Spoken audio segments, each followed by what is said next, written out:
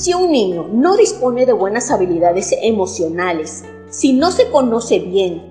si no maneja las emociones que lo inquietan, si no puede sentir empatía ni tener relaciones estrechas con otros, si no sabe resolver conflictos, entonces da igual lo inteligente o listo que sea, no va a llegar muy lejos.